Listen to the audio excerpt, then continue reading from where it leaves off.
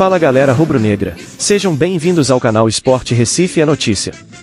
Vamos para mais uma notícia do Leão, mas antes, não esqueça de inscrever-se no canal, ativar as notificações, e deixar o seu like, e comentário.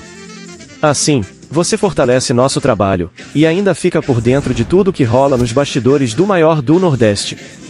O esporte pode estar perto de receber uma bolada nos próximos dias, que chegaria em uma hora oportuna, após o prejuízo de cerca de 5 milhões de reais, com os jogos realizados de portões fechados, e com público especial, porém sem cobrança de ingressos no início da Série B, em decorrência da punição imposta pelo STJD, após confusão no jogo contra o Vasco na Série B 2022.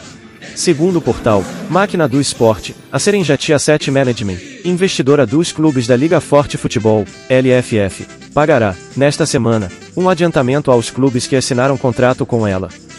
Segundo a Máquina do Esporte apurou, o montante será de 331 milhões de reais. O pagamento seria de 379 milhões de reais. No entanto, dois dos 26 times da LFF não assinaram o acordo.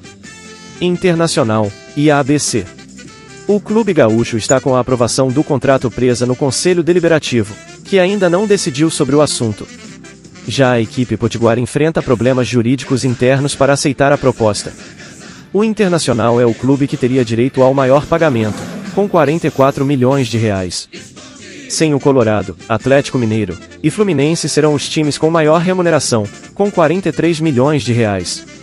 Já o ABC, lanterna da Série B do Brasileirão, figura entre as equipes com direito a uma parcela menor, de 4 milhões de reais.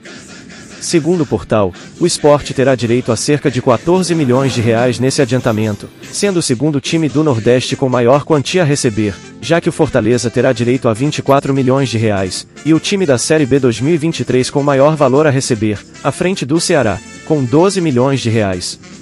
A ideia da Serengeti é de se tornar investidora da futura Liga Nacional de Clubes, com a participação dos 40 principais times do país para a organização das séries A e B do Brasileirão. A proposta do fundo norte-americano abrange uma fatia de 20% dos direitos comerciais arrecadados nos próximos 50 anos. No entanto, sem a unificação das equipes da LFF e da Liga do Futebol Brasileiro Libra, a investidora estaria adquirindo, na prática, as receitas obtidas com direitos de transmissão de um bloco de clubes. Não esqueça de inscrever-se no canal, ativar as notificações, deixar o like, o comentário e compartilhar o vídeo. Assim, você fortalece nosso trabalho e ainda fica por dentro de tudo o que rola de importante nos bastidores do maior do Nordeste. Pelo Esporte Tudo. Até a próxima!